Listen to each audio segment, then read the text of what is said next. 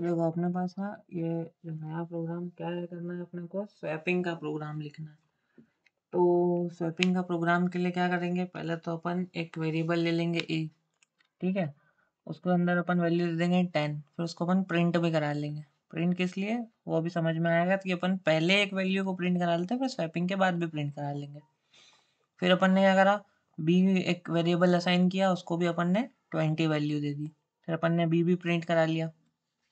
फिर अपन बनाएँगे स्वैपिंग के लिए एक नया वेरिएबल जिसको अपन नाम देंगे टेम्प टेम्प्ररी वेरिएबल फिर टेम्प्ररी वेरिएबल के अंदर पहले अपन ए की वैल्यू स्टोर कर देंगे, फिर ए के अंदर बी की वैल्यू स्टोर कर देंगे और बी के अंदर फिर से अपन टेम्प की मतलब कि जो टेम्प्ररी वेरिएबल है उसकी वैल्यू स्टोर कर देंगे, ठीक है? तो यहाँ पर मैं लिख देता हूँ पहले कि ये जो अपनी मेथड है, ये जो मैंने लिखा है ना, ये है method to swap the value of variables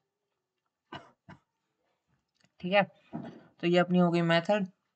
उसके बाद में अपने को क्या करना है? इसको प्रिंट करा के भी देखना है कि अपन ने जो लिखा है, वो सही हुआ है कि नहीं? स्वैपिंग हुई है कि नहीं? ए की वैल्यू बी में चले जाए और बी की वैल्यू ए में चले जाए इसको बोलते हैं स्वैपिंग ठीक है? तो अपन लिख लेंगे पहले आफ्टर स्वैपिंग उसके बाद अपन कराएँगे प्रिंट प्रिंट क्या कराएँगे? प्रिंट अपन पहले ए की वैल्यू कराएँगे।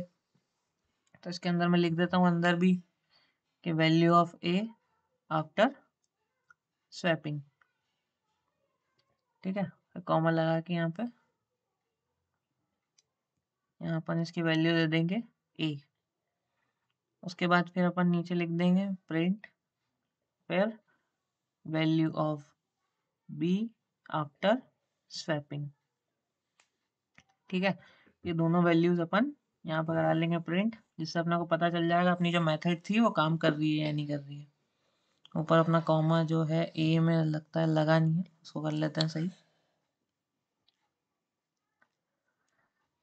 पर हाँ ए में अपन ने लगा दिया कॉमा इसलिए लगा दिया ताकि वो वैल्यू प्रिंट हो। इसको अपन रन कर लेते हैं। ये देखिए, हो गई प्रिंट अलग वैल्यूज़